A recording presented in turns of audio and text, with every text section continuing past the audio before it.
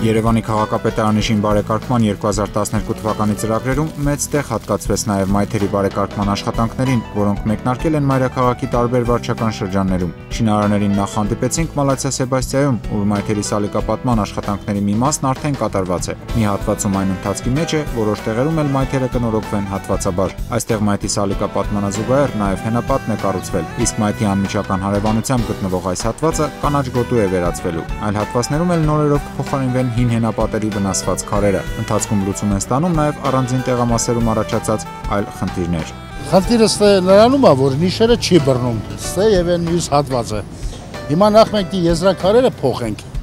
ուղենք, որտեղ սա փախած է տեղից։ Հետո այդ հարթությունը բռնենք, որ թեկություն տանք ջրերը փախնեն դեպի բան, ցաղկանոց, ոչ թե մնան տոմետների բանի մայթի վրա ու ընդ մնում է նիշերը բռնցնելու համար մեկ աշճանա դրվելու ու պանդուս Գալյասկեկի հեծանիվների երեխեքի համար որ անցնեն Անդրանիկ Օզանյան փողոցի շարունակությամբ ընկած տարածքի մի մասը համաձայն Երևանի ավականու համապատասխան որոշմամբ սահմանված պահանջների իր միջոցներով կբարեկարգի եւ պատշաճ տեսքի կբերի այս շինության սեփականատերը։ Մեր նկարահանման պահին մայթերի բարեկարգման աշխատանքներն արդեն ավարտվել էին կենտրոն վարչական շրջանի Աբովյան փողոցում եւ պատկերն է գեղեցիկ եւ անցուդարձը անվտանգ։ Դրան են միտված նաեւ մայթերի բարեկարգման դերևս շարունակվող աշխատանքները Էրեբունի վարչական շրջանի թիվ 60 դպրոցի հարակից տարածքում։ Աշխատանքներն սկսել են 20 օր առաջ։ Աշխատանքները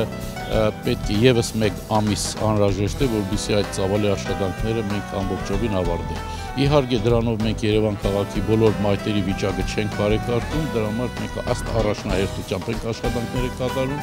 Հաջորդ տարի սա շարունակական աշխատանք է գնալով տարի-տարի ավելի մեծանում է ծավալները եւ որակը եւ ինչպես տեսնում եք գեղեցիկ Երևան ենք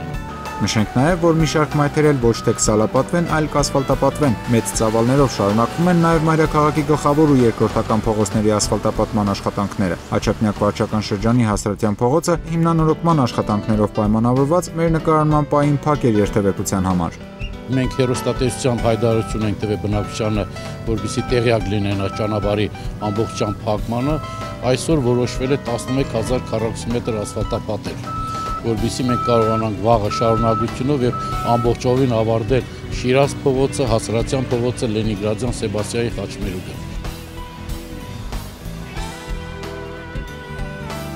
Ասֆալտապատման նախապատրաստական աշխատանքները սկսվել են նաև Բաղրամյան պողոտայում, որը նույնպես կհիմնանորոգվի։